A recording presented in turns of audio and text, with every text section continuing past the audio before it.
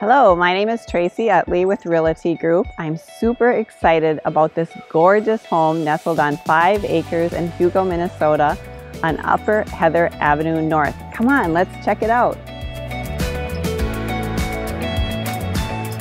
Things I love about this house are that the sunlight just pours into these windows and look at that view. It's so gorgeous and so private.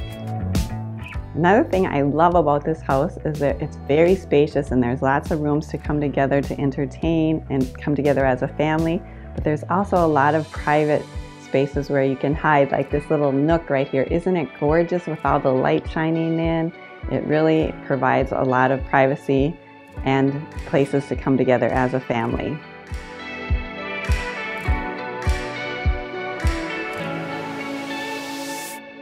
Thanks so much for watching. I'm so excited for you to come and see this house. It's gorgeous.